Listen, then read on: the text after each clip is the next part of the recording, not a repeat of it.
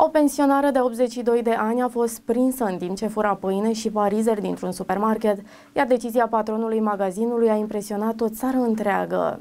Un banal furt petrecut într-un supermarket din localitatea Ferentino s-a transformat într-un gest de solidaritate care a emoționat o țară întreagă. Bătrâna a fost oprită zilele trecute de către personalul de securitate și acuzată că a furat câteva produse alimentare. A urmat însă ceva neașteptat. După ce i-a ascultat povestea, patronul magazinului a lăsat-o să plece acasă cu produsele furate. Ar fi putut fi mama mea, a spus managerul magazinului, potrivit publicației Curier de la Sera. Bătrâna Bătrâna de 82 de ani, o văduvă cu o pensie mică, a recunoscut că a furat produse alimentare, dar a cerut să nu se sune la poliție, pentru a nu afla familia că a fost prinsă în flagrant. Nu chemați carabinierii, nu vreau să afle nepoții mei, a spus femeia. Ea a recunoscut apoi că îi era foame și că nu-și permitea să meargă la cumpărături, din cauza chiriei și a facturilor. Copiii ei nu o pot ajuta pentru că au probleme financiare și nu vrea să le ceară nimic, relatează mesajul.ro.